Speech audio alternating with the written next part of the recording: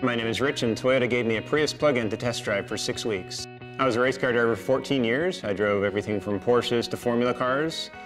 Porsches who got a couple miles per gallon, and the Formula cars a couple miles per gallon as well. So the idea of getting 111 plus miles per gallon on a tank full was very technologically exciting.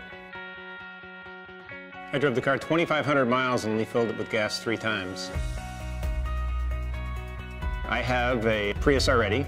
Uh, the Prius plug-in comparing to the third generation Prius, I think is, is almost the same, but it has the benefit of the batteries on top of it. So if you never charge the batteries by plugging them in, the car would act like a third generation Prius.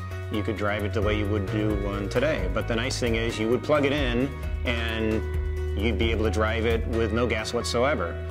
So I could get a thousand plus miles on a tank full. Technology is very exciting to me. In fact, when we can beam from place to place, I'll probably be at the front of the line for that as well. Toyota.